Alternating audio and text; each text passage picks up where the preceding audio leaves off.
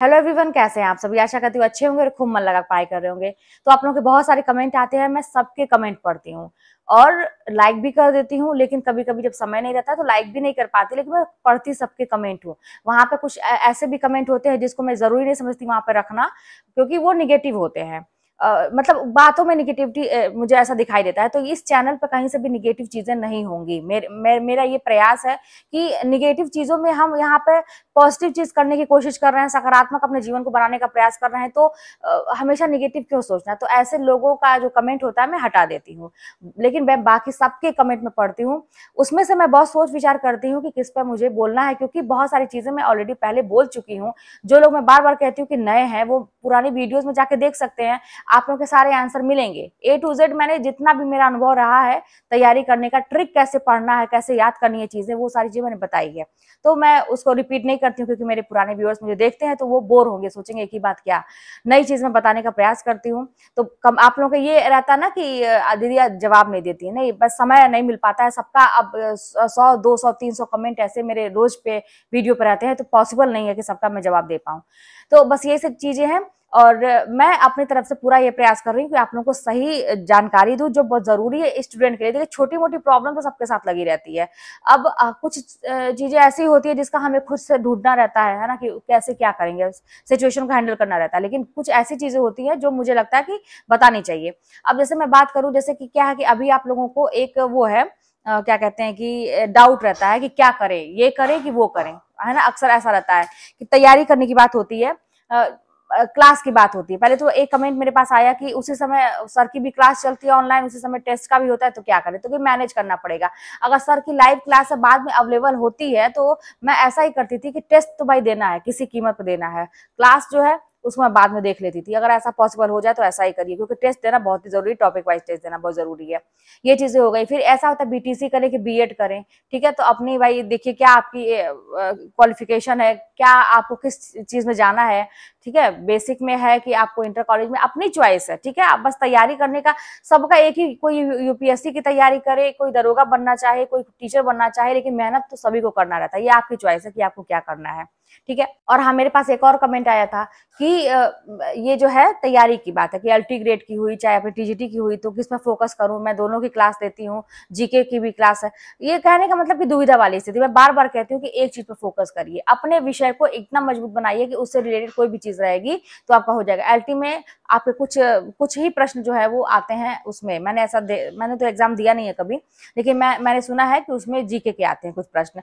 लेकिन आपका ज़्यादा मेन तो आपका मेन सब्जेक्ट है आपका जो सब्जेक्ट है उससे है तो अगर अपना सब्जेक्ट पे कमांड अच्छा है और कहीं से कोई गलती नहीं होती है तो फिर और जीके में आप जैसे थोड़ा कम भी मेहनत करेंगे तो काम चल जाता है।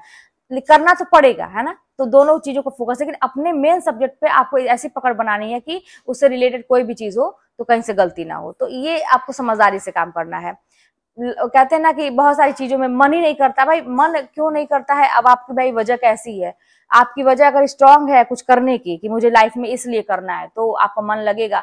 अगर आप भी हल्के फुल्के में अपनी लाइफ को लेते हैं, अपने आप को लाइफ में ऐसे ही लेते हैं, चलो भाई हुआ हुआ, नहीं हुआ तो कोई बात नहीं। तो जब कोई बात नहीं वाला चीज़ चलता है ना कि आप कंप्रोमाइज करने की जब सोच लेते हैं, जिद्दी नहीं बनते हैं कोई चीज़ पाने के लिए तो मन नहीं लगेगा। लेकिन जब आप किसी चीज़ के लिए जिद पकड़ लेते हैं कि मुझे चाहिए ही चाहिए अपने जीवन में कुछ करना ही करना है तो आपका मन लगेगा। तो हम लोग के साथ तो भाई ऐसा था करो या तो मरो। कहते ना कि या तो जान लगा दो या तो जाने दो। मेरे साथ तो ऐसा था। तो मैं कहते हैं ना कि जाने दो वालों में से नहीं हूँ किसी भी चीज़ के लिए। गलत चीज़ें तो मुझे आ, मैं कभी नहीं जाने देती मैं आप लोग देखे ही हैं मैं आवाज़ उठाती हूँ। और आ, कहते हैं कि अपनी लाइफ के साथ भी मैं गलत होते नहीं देख सकती क्योंकि वो भी बहुत बड़ा पाप होता है। कहते हैं ना कि अन्याय बर्दाश्त करना भी उतना ही बड़ा पाप होता है जितना करना, ठीक है? तो क्यों हम अपनी लाइफ के साथ अन्याय होने दें? और अन्याय सबसे बड़ा तो हम खुद करते हैं अपनी लाइफ के साथ। क्यों? क्योंकि हम अपने को सेटल नहीं कर पा रहे हैं। दूसरे का छोड़िए। हमेशा हम दूसरे पे थोपते हैं ना कि उसकी वजह से, उसकी वजह से। कोई कुछ नहीं वजह बनता है, जान लीजिए। अगर हम चाहें तो हम कुछ भी कर सकते हैं। अपने मन को इतना मज़बूत बनाइए, अपने आप को इतना स्ट्रांग बनाइए कि दुनिया चिल्लाती रहे, दुनिया आपको लाख गलत कहती रहे। आपको पता है कि आप सही कर रहे हैं। आप, अपना सब कुछ मतलब असर ना करे उन लोगों की बातों का। आप एक काम पे ठीक है? उसके बाद पर्सनल लाइफ पर असर करे वो अलग की चीज़ है लेकिन प्रोफेशनल लाइफ आपकी एकदम अलग होनी चाहिए। आपको अपनी ज़िंदगी बनानी है करना है तो करना है।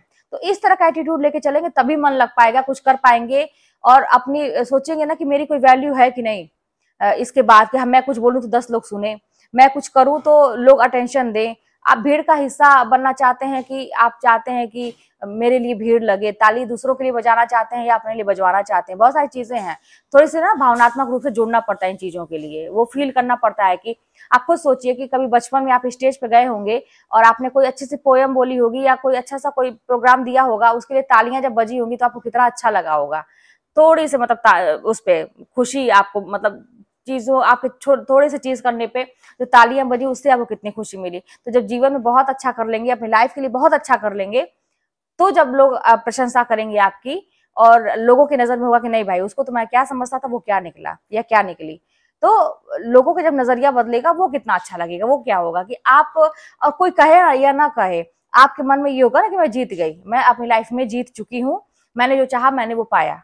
तो लोगों से कभी कोई उम्मीद मत लगाइए। लेकिन लोग खुद आएँगे आपके पास। ये तो कहने की बात ही नहीं अगर आप सफल हो जाएँगे ना तो जो लोग नहीं जुड़ना चाहेंगे वो भी आपसे जुड़ेंगे। चीज़ों को समझिए करना शुरू करिए ठीक है? तो बस बात यही है कि आ, कुछ लोग ये बोलते हैं कि दीदी आप पढ़ाना शुरू करिए। देखिए पढ़ाने के लिए क्या है ना कि ऐसे ही नहीं शुरू कर दिया जा सकता है। मैं ये बताती हूँ पढ़ाने के लिए बहुत सारे लोग हैं आप लोगों को। सबसे बड़ी बात है कि सेल्फ स्टडी। आपको जब तक कोई कितना भी पढ़ाए सेल्फ स्टडी नहीं करेंगे आप सफल नहीं हो सकते। कोचिंग है तमाम अच्छे अच्छे टीचर है पढ़ाने के लिए। लेकिन उन चीज़ों को कैसे ग्रहण किया जाता है? उन चीज़ों को कैसे आ, कहते हैं ना कि चीज़ें तो आपके पास पहले से भी हैं। मटेरियल है आप कोचिंग ले रखते हैं वो सब आपके हाथ में है। लेकिन वो तरीका आना चाहिए ट्रिक आनी चाहिए कि कैसे हम उसको तैयार करें कम समय में। तो वो सारी चीज़ें मैं आपको बताती हूँ अपने सारे ट्रिक्स मैंने बता मैं बता चुकी हूँ। अब अपना भी दिमाग लगाइए। आप अपने दिमाग से अगर ट्रिक बनाएँगे ना तो वो जल्दी आपको समझ में आएगा। नोट्स अपने भाषा में बनाइए शॉर्ट नोट्स बनाइए। ये सारी चीज़ें अपने खुद करना पड़ता है। तो यही चीज़ें हैं, इसलिए मैं नहीं भाई, क्योंकि दिन भर मैं स्कूल में पढ़ाती हूँ और यहाँ पे मुझे ये काम करना ज़्यादा अच्छा लगता है कि लोगों को मैं ये बताती हूँ ना कि आसान रास्ता बताती हूँ कि कैसे वो अपनी मंजिल तक पहुँच सकते हैं, कठिन ना समझे किसी चीज़ को, आसानी से पाया जा सकता है। तो ये सारी चीज़ें हैं। फिर चलिए मिलते हैं नेक्स्ट वीडियो में, कोई बात होगी तो कमेंट के माध्यम बताइएगा।